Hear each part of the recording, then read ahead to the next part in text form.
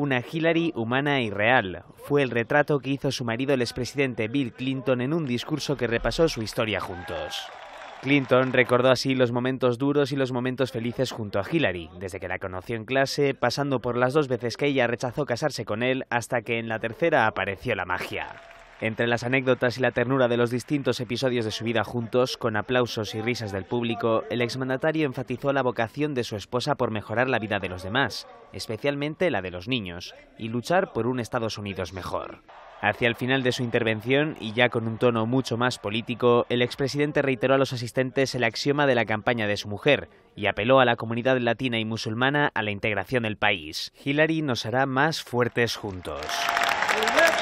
Tras concluir el demócrata, la sorpresa que pondría el broche final a la jornada.